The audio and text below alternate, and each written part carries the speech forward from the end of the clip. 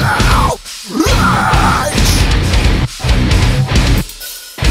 were nothing but a blood sucker!